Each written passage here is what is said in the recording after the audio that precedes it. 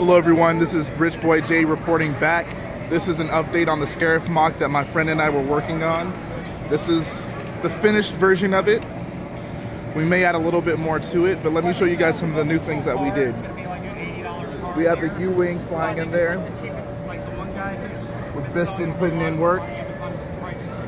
We also went ahead and added in Admiral Ackbar fishing in his canoe, like in the LEGO Star Wars video game. For this island right here, we cleared off a lot of the foliage on it. We wanted to just make it simple. That way it wouldn't really obstruct the view for little kids of the things behind it. Got these guys taking a swim right here. And then finally we added some really big trees back here. I think those came out very well. Look at that.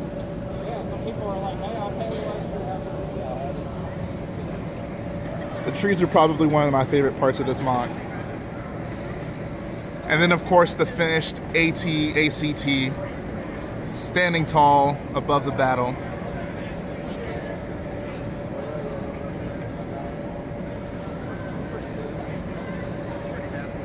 Oh, also, went ahead and beefed up the bunker right here, added a roof to it.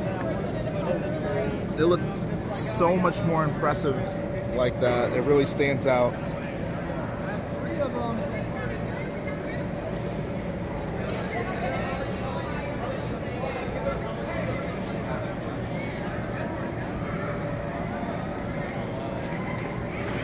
All right, guys, that's pretty much gonna finish up this video. Just want to give you a short recap of the final edition of this incarnation of our Scarif MOC.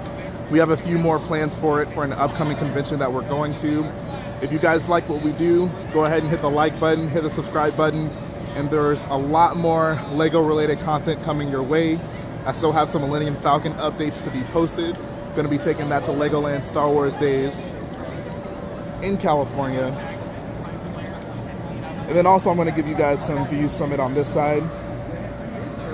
When it was in my room, I didn't really get to view it from this side, but now that it's here at the convention, it's really nice to see through here.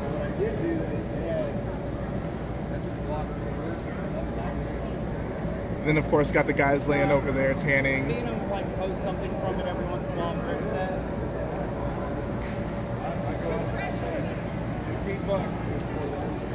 All right, guys, that's pretty much going to finish up this video. Thanks for watching.